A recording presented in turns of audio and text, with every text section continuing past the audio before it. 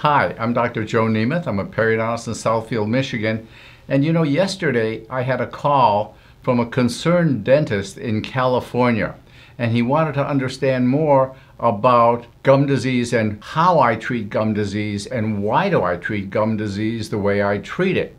Well, I used to treat gum disease as many people still do, I'll call it the old fashioned way, where you're cutting away gum tissue to eliminate these pockets where bacteria lodges and causes infection. But when you cut away that gum tissue, it very often leaves gaps between the teeth. The roots become sensitive. Sometimes it's even harder to clean because of the sensitivity. And I don't know that it's any it's particularly effective in stopping periodontal disease. Well, periodontal disease, it's caused by an infection. It's caused by a bacterial infection. So let's eliminate the infection. And I told him what I do is every patient that comes in, we take a slide, we take a sample from under the gum to see if there's active infection, parasites, bacteria that we know are associated with gum disease and bone loss. And then, assuming that there is periodontal disease or gum disease that we diagnose with a microscope. We then treat that with a laser. Why cut the tissue away? If you can stop the infection with minimally invasive techniques, why not do it that way? It's so much easier for the patient and so much less destructive and so very, very effective in stopping the disease process, much more so than anything else I've come across. So we use a laser to kill those bacteria. It helps to shrink these little gum pockets a little bit. It's not destructive like other forms of periodontal treatment can be. And then we teach the patient techniques to prevent reinfection so they're not going to have this disease and this infection come back for the rest of their lives.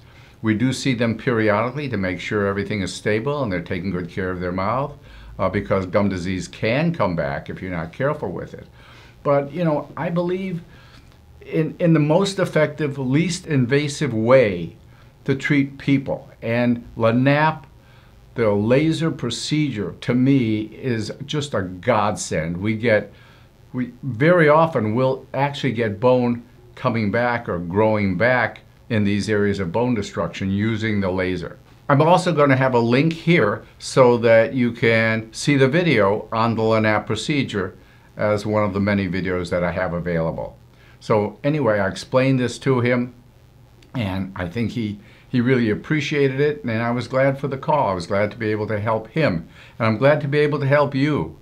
So don't go around with an infection in your mouth because if you have an infection in your mouth, you can't be healthy. You can't be healthy with an infection in your body anywhere. And if it's in your mouth, you still have an infection, and that infection is affecting your whole body.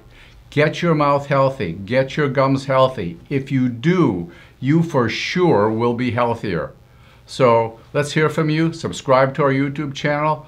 We would love to hear comments or questions. And remember, Make sure your mouth is healthy because if it is, you are going to be healthier. Have a good day. Restore your smile and your health. Visit drnemeth.com to schedule your appointment today.